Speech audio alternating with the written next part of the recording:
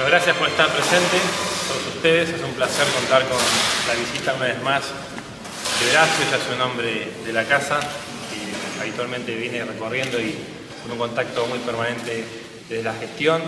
Y con Gerardo también, hace poquito estuvimos charlando y conversando, así que es un placer contar con esta dupla en esto que se viene, este desafío tan importante para la Argentina. acá lo único importante es que le vamos a cambiar la vida a la gente. No nos metemos en peleas internas, jamás estamos criticando a nadie de Juntos para el Cambio. Acá la clave es contarle a todos los argentinos, a todos los bonaerenses, a todos los vecinos de Junín, cómo vamos a cambiarles la vida. ¿Qué significa eso? Más trabajo. Trabajo. Eso es lo que necesitan los argentinos.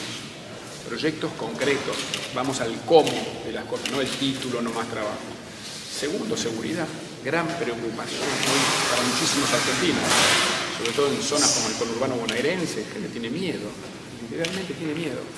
Acá en Junín, la verdad que con el trabajo de, Pablo y todo su equipo, con el centro de monitoreo, con la inversión que se ha hecho, es un problema, digamos, no de la gravedad en otros lugares, pero igual, siempre tenemos que trabajar para mejorarlo. ¿Cómo se logra ese objetivo? ¿Cómo se proyecta lograr ese objetivo de tema seguridad? Me gusta que preguntes el cómo, porque acá hablar de vamos a meter a los chorros presos, todo eso es muy fácil de decir. La pregunta es cómo. El cómo requiere experiencia, como lo hizo Gerardo en Jujuy, como lo hicimos nosotros en la Ciudad de Buenos Aires, como lo está haciendo Pablo acá. Primero, capacitación de los policías, entrenamiento muy estricto de los policías, equipamiento, chaleco antibal reglamentario al día, una un arma reglamentaria, incorporación de nuevas tecnologías como la Stacer, que están saliendo a la calle ahora durante julio, eh, tecnología aplicada a la seguridad, cámaras, estos centros de monitoreo. Las cámaras tienen un rol preventivo del delito enorme. Segundo, el mapa del delito. Yo te puedo decir, Gerardo también, en cualquier esquina que vos elijas de Jujuy o de la Ciudad de Buenos Aires, cuántos delitos hubo en los últimos años, qué tipo de delito, todo eso te permite direccionar la policía mucho más eficientemente. Plan, hay que hacer un trabajo, un plan. Primero. Y segundo, hay que tener un plan urgente para el 10 de diciembre respecto a las zonas más calientes de la droga. Rosario de alrededores, sur de Córdoba, con urbano bonaerense, sobre todo la zona oeste con urbano que está tomada por los narcos, San Martín, Merlo, Moreno. Hay que tener un plan de shock el primer día, mandar toda la gendarmería ahí y que el ejército jerarquizado, bien equipado y bien pagado, pues salarialmente tan muy mal, eh, que vaya a ocuparse de cuidar la, soberanía en las fronteras. Con eso libera la gendarmería y haces una, la palabra, inundación de gendarmes en las zonas calientes, primero. Segundo, aislar a los narcos. Es increíble que los capos narcos dirijan sus bandas, manden un sicario a matar a otro desde la cárcel. Hoy la tecnología es muy simple, con un inhibidor de llamadas no hay más llamadas, no hay más capos narcos manejando sus bandas. Eso también se hace en 10 días. Tercero, hay que llenar los cargos de la justicia en las zonas más calientes de la droga. De la justicia federal faltan jueces, faltan fiscales, faltan camaristas. Es inadmisible. Porque en Junín faltan fiscales. bueno, muestra la, la, inoperancia o la desidia de este gobierno nacional y en este caso provincial también respecto a la droga. Mira la diferencia, cómo ha encarado Gerardo el tema de la seguridad en la provincia de Jujuy. Eso es gestión, laburo, decisiones. Así es. Eh, yo creo que el tema de la justicia, el tema de la frontera, la participación del ejército en forma disuasiva y aportando tecnología, que es lo que tenemos en el norte.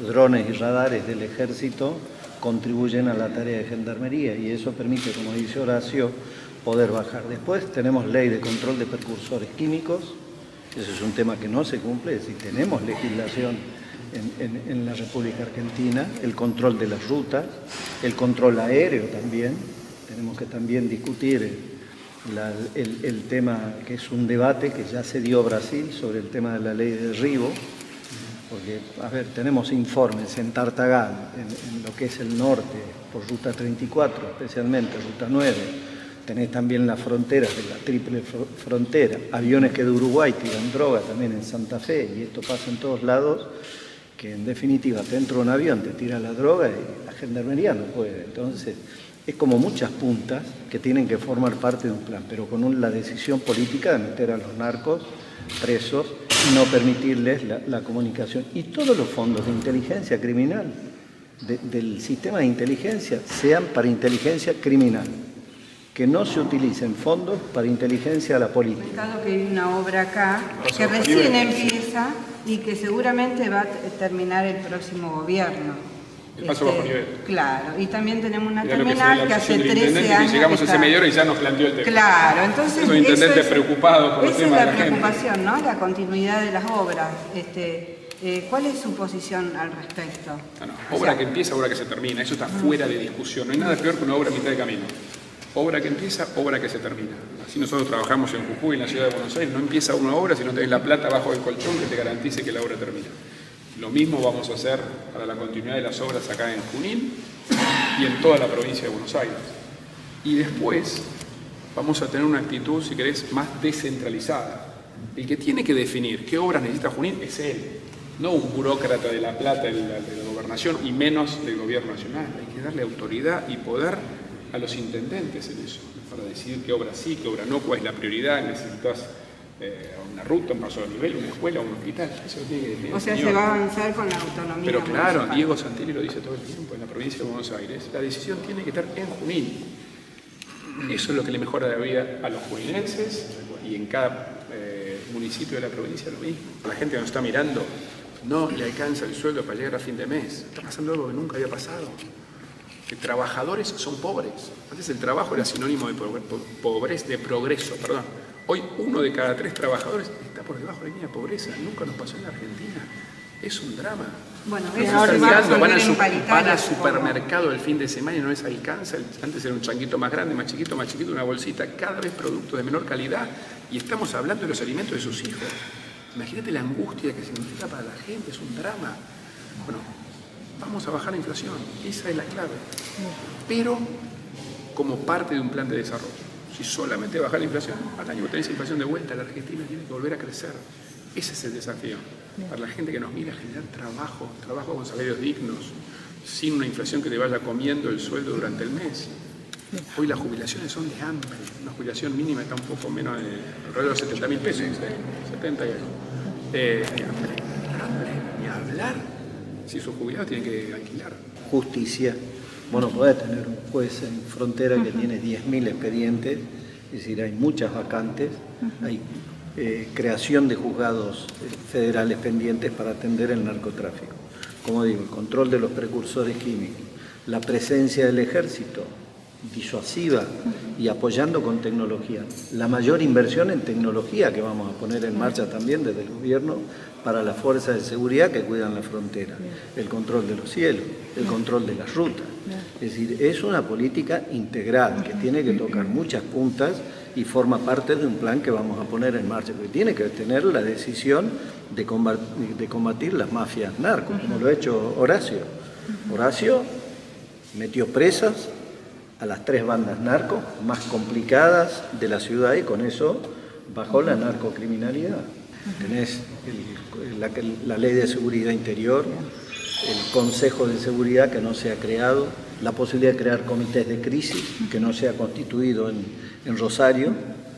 Nosotros, él como presidente, yo como vicepresidente, estaríamos periódicamente en Rosario comandando. Hay que sacar el, el comando de las fuerzas locales, tiene que haber una articulación. Tendría que haber eh, funcionado ya un comité de crisis. Eso está en la ley. No se están cumpliendo las leyes que ya tenemos. Obviamente que se pueden mejorar, pero hay un marco normativo para, para combatir el narcotráfico. El tema es la decisión. Y se lo decimos dos personas que nos toca gobernar, lidiar con problemas todos los días. Tal vez la característica que tiene nuestra fórmula es que somos de gestión. Lo que decimos que vamos a hacer, lo hicimos. Vamos a lanzar una revolución educativa que incluya todo, desde garantizar que los chicos estén en las aulas, 190 días de clase. Hoy en la provincia de Buenos Aires, cada dos por tres tenés paro, faltan, que no sé qué, que no hay clases. No se recupera eso. No en este gobierno, ¿eh? paro.